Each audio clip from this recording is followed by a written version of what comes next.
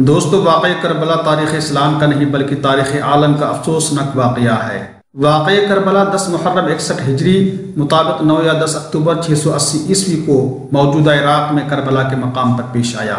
Yazid की भेजी गई फ़ौज ने नबी करीम सल्लल्लाहु अलैहि वसल्लम के नवासे हज़रत हुसैन रज़ी तु उनके अहल खाना को शहीद कर दिया। हज़रत हुसैन रज़ी तु के साथ बहत्तर साथी थे, जिनमें बाईस अहल बैत अतहार के अफराद खातन और बच्चे भी शामिल थे। करबला का वाक़ सिर्फ़ तारीख़ इस्लाम ही नहीं, बल्कि तारीख़ आलम का नादिर और अजीब व गरीब वाक़ है।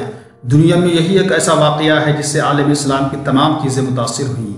आसमान मुतासर हुआ, ज़मीन मुतासर हुई, शमस कमर मुतासर हुए। हज़रत इमाम हुसैन रज़ी अल्लाह अट्ठाईस रजब साठ हिजरी को मदीना से रवाना होकर दस मुहर्रम हराम इकसठ हिजरी को नबी करीम सल्लल्लाहु अलैहि वसल्लम की खिदमत में पहुँच गए।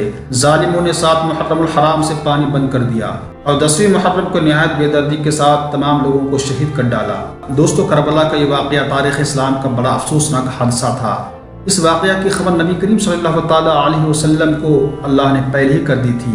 चुनानचे रिवायत में आता है कि नबी करीम सल्लल्लाहु अलैहि वसल्लम ने अपनी सौजा हज़रत उम्म सलमा रज़ी अल्लाह तहा को एक शीशी में कुछ मिट्टी देकर फरमाया था। कि ये उस जगह की मिट्टी है जहाँ मेरे नवासी को शहीद किया जाएगा।